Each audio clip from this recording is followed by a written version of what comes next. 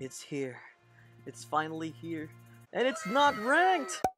What is up guys, Lightning Tatsu striking here again with another video. Terror Gaze has finally made his way to SAO. And here we are at our guild base, and here are my friends, my guildmates, and we are here gathered to challenge the raid boss. Well, we've already done it though, a few runs, but we haven't done 90 yet. So, as we can see here, we can get good rewards here, some restorative items, and also Medal of Combat Arts. Now, to enter here, you need the tickets from the uh, ticket collecting event, which is available now. And as you can see, over here, you can actually see when a guildmate is challenging the dungeon. So, let's just jump into it, guys. Okay, I got disconnected. Recording again. So take note, guys, this is actually the level 70 version. We're, still yet to do the level 90 version, so we're waiting for a lot more guild members to, uh, you know, go online before we challenge this. So for now, we're just gonna do 70. Okay, so here we are. And as you can see right now, the weakness of the boss is actually Slash, Water, and Holy. But the thing is, this actually changes. So when you get his HP to half, you get a chance to break the boss. And then his weakness actually changes to Thrust, Holy, and Water. And in order to get him to break, you actually need to use a Rapier and Rapier skills. Because um, if you don't know about the break thing, it's when you see this indicator of a certain weapon type on a certain part of the uh, boss fight, and when it when it, when the indicator comes, it's your signal that you have to spam attacks of that type of weapon, and that will actually, if you complete that gauge, I mean, if you deplete that gauge there, you can actually make the boss really vulnerable, and you can inflict a lot of damage. Okay, so there's that. So now that the typing, I mean, the weaknesses are in order.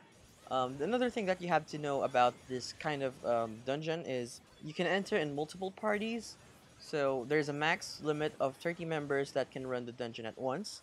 And you can actually read that on the, uh, you know, the NPC that, uh, that you use to enter the raid boss. So feel free to check that out for any more info. Okay, so he does this thing, this AoE thing um, with an eye. So that thing actually petrifies you. So what, what petrify does is um, it actually makes you a stone. So yeah, you can't do anything. You can't use a cleansing potion to get out of it. Okay, so I'm gonna show you guys how it works, okay? So I'm gonna go here, just do this attack and wait for me to get petrified. And there we go. As you can see, it's quite creepy. but yeah, um, you can't even use a cleansing potion. I tried earlier, and yeah, it doesn't work. Okay, so he, this is it, this is it. Okay, so when he does this, you have to change to your rapier and just hit him with a lot of rapier attacks, and then there you go he's broken. And you just keep spamming a lot of attacks on him. And he's just down there doing nothing. And that gauge up there actually times it. I mean, it shows you how long before he gets up, gets back up. And there you have it. Like, it's not, I mean, I really expected that this boss will be really tough. I mean, we tried doing 90 earlier. Even though we didn't finish it, I was actually expecting something more difficult.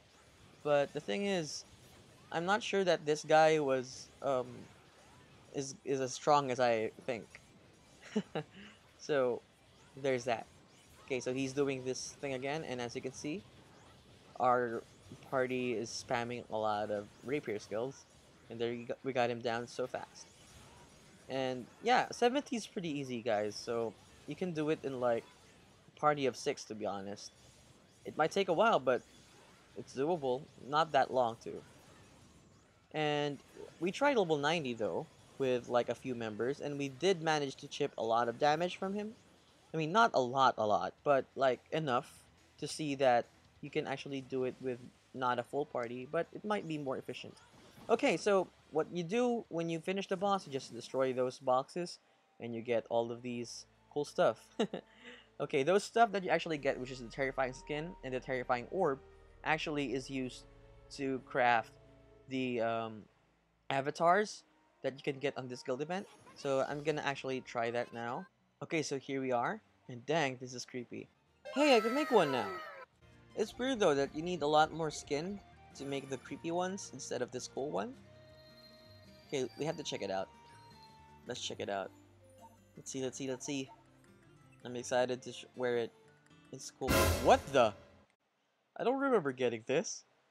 What is this? Dang, that's creepy. Well, this is not what I came here for. There we go. There we go. Dang, that's so cool. Dang, that's so nice. Okay, so I told my friends that I got this helmet. Let's see how they react. It dropped like randomly. I don't know when though. Fabulous. Let's see how Saskia reacts. She's still not looking. Wait, there we go. okay guys, so it's finally time to look at the um, the notice board, which I should have started with, but the thing is, I had a party with my friends, so I had to go in the... Okay. So I had to go in the uh, dungeon really quick. So let's just read it now. okay, so Terror Gaze Hunt. Okay, so get accessory avatars in the medal of combat arts. Okay, defeat monsters and... Whoa, okay, wait. The eye on the shoulder moves? And make the eye appear on the emotes? With the emotes? Dang, I didn't know you can do that. we have to try it. Wait, hold on, hold on. I want to try it. I want to try it. Let me stare, Let me stare into, your, soul. your soul. Oh, okay, here's some new things. Okay, so we got some titles, record titles. Look of Fear. If you get 100 skins and one terrifying orb is the reward. Eyeball Killer, 500 skins and one medal of combat arts. And I see you with the 1000 terrifying skins and one terrifying helm, which is actually the purple red version. And here is the um, info about Terror Gaze. I already talked about this a while back, so no need to, you know, dwell in this any further. Okay, so here are some important stuff that you have to know.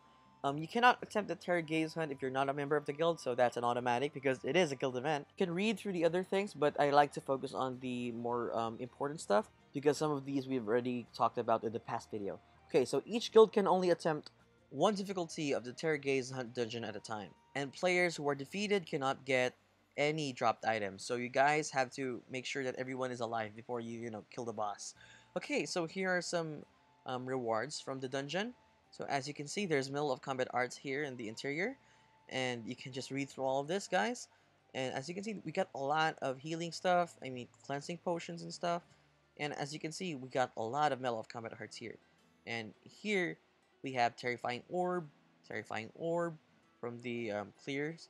So, you get a lot of Terrifying Orbs here for the, um, you know, for making avatars ugly avatars, but you know, the guild ones are actually pretty cool. So as of right now, I got the first title, and you can check your title progress on the achievement section over here. Anyway guys, that's it for today. Tomorrow I'll be uploading the other events, or maybe my guild's attempt at level 90, the, um, the, the raid boss level 90. So please stay tuned. Thank you guys so much for watching, and I'll see you all on the next video. Peace out. Sasuke told me this avatar looks like the Statue of Liberty.